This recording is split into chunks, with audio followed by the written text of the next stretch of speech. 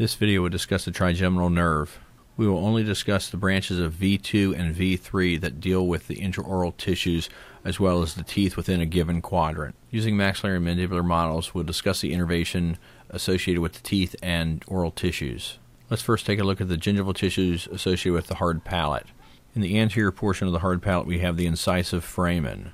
In the posterior portion of the palate, we have two greater palatine foramen, one on the right, one on the left. Let's first talk about the maxillary division, or V2, of the trigeminal nerve. The greater palatine nerve exits the greater palatine foramen. The greater palatine nerve will provide sensory from the posterior hard palate, specifically tissue only. Innervation from the teeth does not come from this nerve. The nasopalatine nerve exits from the incisive foramen. The nasopalatine nerve will provide sensory from the anterior portion of the hard palate. This nerve provides innervation from the tissue only. It does not provide innervation from the teeth associated with this area.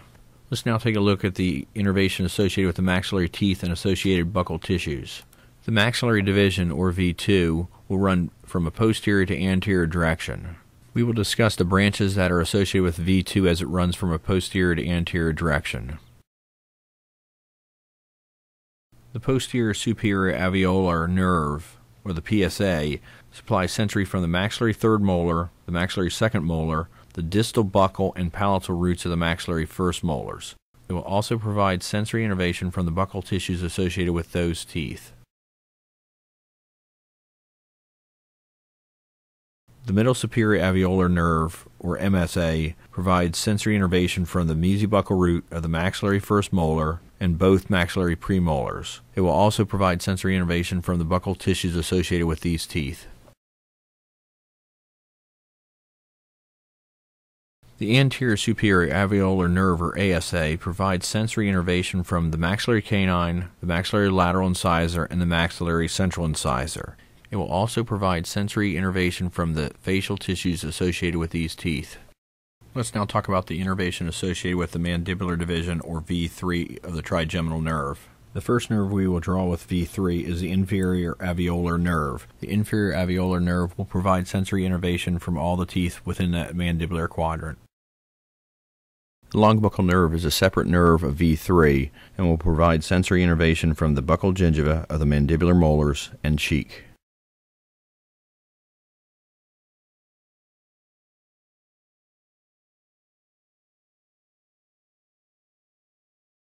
The mental nerve branches off the inferior alveolar nerve and exits the mental foramen. The mental nerve provides sensory from the buccal gingiva of the mandibular premolars and anteriors, the chin, and the lower lip.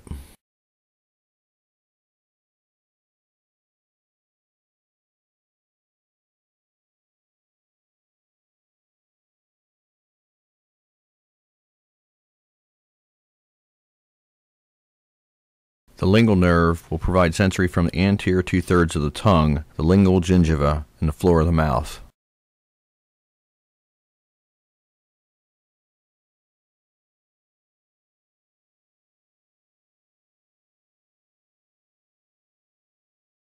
There are three additional branches of the mandibular division we did not discuss. The motor branch to the muscles of mastication will provide motor innervation to the four muscles of mastication. The temporal nerve will provide sensory innervation from the TMJ area, the external ear, the parotid region, and the temple region. The mylohyoid nerve provides motor innervation from the mylohyoid muscle and the anterior belly of the digastric.